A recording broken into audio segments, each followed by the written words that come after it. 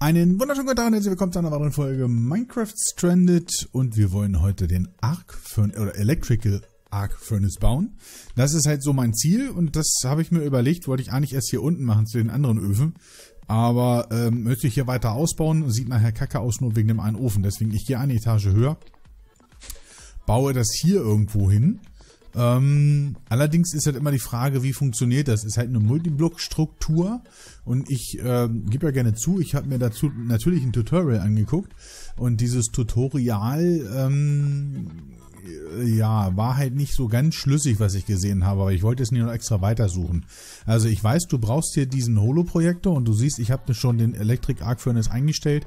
Den Holo-Projektor brauchst du. Das heißt, du kannst hier sneaken, rechte Maustaste und dann hast du hier so eine Liste. Bei mir war das allerdings so, äh, genau, so war das gewesen. Ich habe hier gesucht und getan. Ich denke, Mensch, hier ist doch nichts drauf. Du siehst hier gar nicht den Arc Furnace. Ich habe Alt geklickt, Shift geklickt, äh, linke Maustaste, rechte Maustaste, das Scrollrad und keine Ahnung. Bis ich irgendwann mal dahinter kam, dass ich mit der linken Maustaste diesen ganzen Scheiß hier bewegen kann. Alter, ohne Witz, da musst du erstmal hinterkommen. Es steht nirgendwo geschrieben, dass du hier hin und her scrollen kannst. Linke Maus. Und da hast du hier auch diesen Electric Arc Furnace.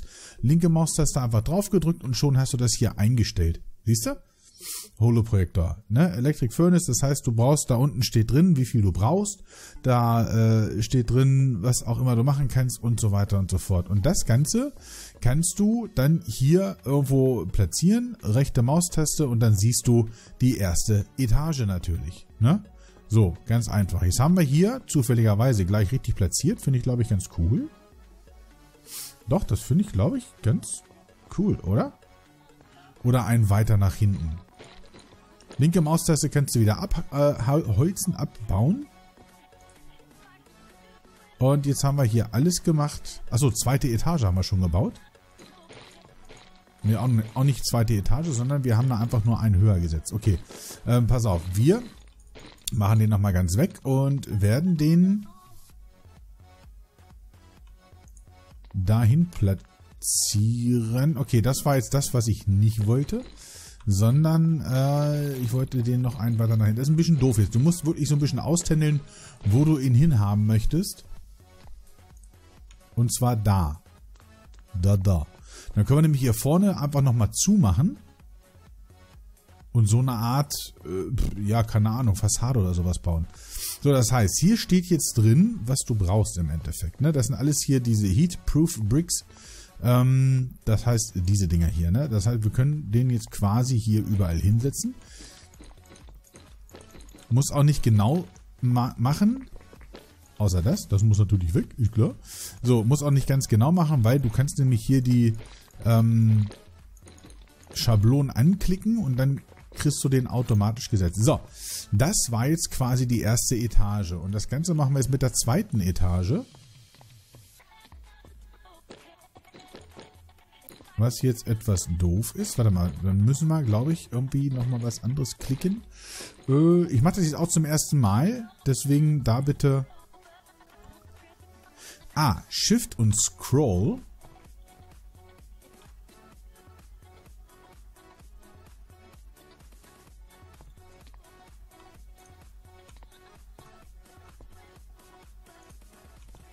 Ähm, macht die zweite Etage, genau. Oder? Oder? Oder? Oder? Ähm, finde ich persönlich etwas falsch.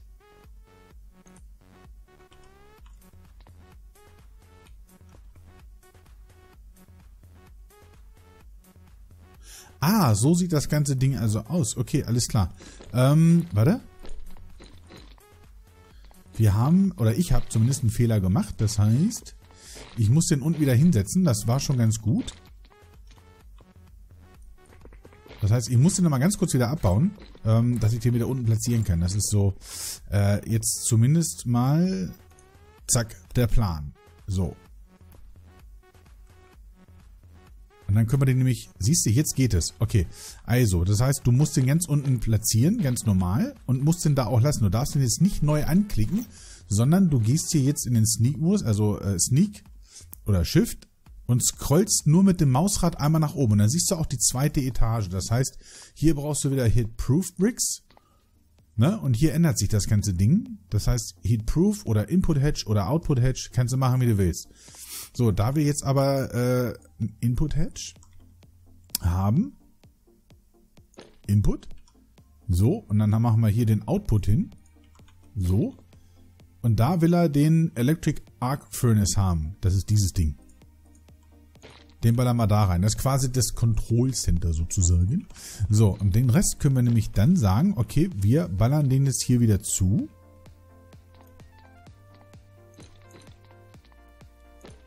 Mit diesen Heat-Proof Bricks. Die müssen wir natürlich noch ein bisschen machen. Äh, so ganz ohne kommen wir nicht aus. Heat-Proofed oder Proof Bricks. Brauchen wir noch ein paar Magma Creams. Nehmen wir alles mal mit, kein Thema. So. 16. Ich mache erstmal nur 16. Erstmal nur so viel, wie es irgendwie nötig ist. Ähm, dass ich nicht allzu viel nachher über habe, weißt du, was, was sinnvoll ist. Muss ich denn jetzt hier auch mit ausfüllen, so wie es aussieht? Ja, ne? Also ich hätte es drauf gewettet, dass hier ähm, tatsächlich ja, ein Hohlraum entstehen muss. Bin ich ja ganz ehrlich, hätte ich jetzt echt drauf gewettet. So, und wieder Shift Ach was, und hier oben ist jetzt ein... Okay. Okay, okay, und da entsteht jetzt ein Hohlraum. Ah ja. Okay, dann ist das so. So. Das haben wir auch. Und da kommt der Deckel. Ah, okay, alles klar. Da kommt der Deckel um. Was haben wir hier? Copper Coil. Block of Gold. Okay. Gold Coil, Copper Coil, Titanium Coil.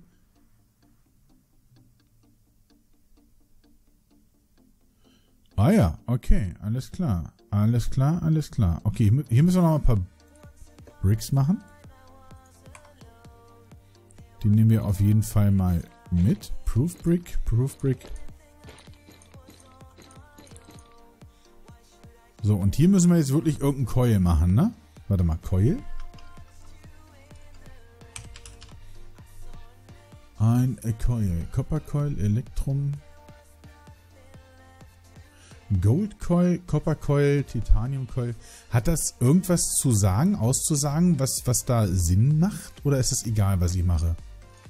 Weil dann würde ich nämlich, glaube ich, schon... Ups würde ich nämlich, glaube ich, schon mich für das Copper Coil, äh, das, das Gold Coil entscheiden. Eins, zwei, drei. So. Und würde dich da hinsetzen, dich da hinsetzen und dich da hinsetzen. So, weiter geht's. Nächste Etage. Und dann haben wir hier oben einen Powerplug.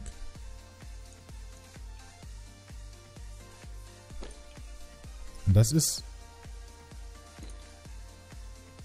Auch ein Power Input Plug. Und das hier? Power Input. Haben wir einen zu wenig. Power Input Plug. Müssen wir da nochmal einen von machen auf jeden Fall. Okay, so. Hat da. Brauchen wir so viel Eingänge? Alter. Na gut. Dann machen wir das halt so. Und es reicht nicht. Ich brauche tatsächlich noch... Leute, das kann nicht wahr sein. Das kann nicht wahr sein. Heat. Proof Bricks. Jetzt mache ich nochmal 16 Stück für zwei einzeln, die ich noch brauche. So. Und fertig wäre jetzt der Multicoil, äh, der, der Multiblock. Da ist er, Leute. Da ist er. Das heißt, wir brauchen jetzt nur noch Strom dran und dann sollten wir damit eigentlich ja, unser, unser Silizium oder Silikon äh, herstellen können, was wir brauchen. Was ähm, er hier jetzt verlangt hier, ne, beim Crystallizer. Der Silikonbaul. Das brauchen wir schon. Damit können wir auf jeden Fall... Also so baut man auf jeden Fall, habe ich jetzt gelernt, ein Electric Arc Furnace. Ähm, ja, da habe ich, wie gesagt, mir lange genug jetzt ein Tutorial zu angeguckt, dass ich da zurechtkomme. Ähm, das heißt, wir bauen jetzt nochmal ein... Ja, bevor ich jetzt hier Kabel hochlege, ne, macht natürlich Sinn, nochmal so ein äh, Dimensional Trans Receiver zu bauen, ne? Warte mal, ME Interface, Crafting Terminal. Habe ich dann ein Rezept für? Ne, habe ich nicht. Habe ich nicht. Habe ich nicht. Dann machen wir das mal ganz fix. Dimensional Trans Receiver.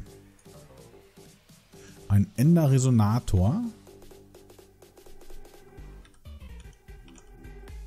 Ey, jedes Mal Ender. Ach, haben wir sogar. Warte mal. Können wir den dann... LOL. Und dann brauchen wir noch... Ähm... Conduits. Brauchen wir denn da so einen großen? Nee, ne? Da können wir doch auch die normalen zu nehmen. Warte mal. Und dann können wir dann nochmal ganz schnell hocheiern und können gucken, ob wir da Strom drauf kriegen. So. Ja, herzlichen Glückwunsch. Huch. So, dann setzen wir den Orbis Active. Strom. Receive. So, dann haben wir da schon mal Strom jetzt raus. Dann brauchen wir, komm mal hier. Eins. Ja, 10.000 Power. 30.000 brauchen wir, deswegen diese drei Anschlüsse. Alles klar. Mit diesen drei Anschlüssen bekommt er dann eben halt auch... Nein, einmal falsch gesetzt. Dankeschön. Jetzt hoffentlich diese 30.000 Strom, die er braucht. Richtig? Jo, da haben wir sie. 30.000 Strom und da haben wir einen Einschalter. So, jetzt hat er Saft. Kann man den tun? Keine Ahnung. So, jetzt, wenn ich das noch richtig in Erinnerung habe, haben wir aus Sand. Haben wir hier so ein bisschen. Ein Input. Schmeißen das ganze Ding da rein und da brennt er auch. Und dann... Wie kann ich den tun. Das dauert, dauert das so lange? Also einen hat er auf jeden Fall reingezogen und er brennt auch irgendwas.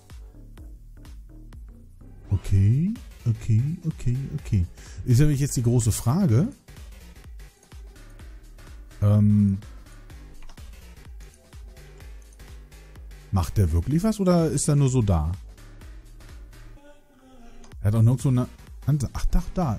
Da kommt gerade was hoch. Hast du das gesehen? Okay, das heißt, sobald er dann voll ist, packt er dann hier irgendwas rein.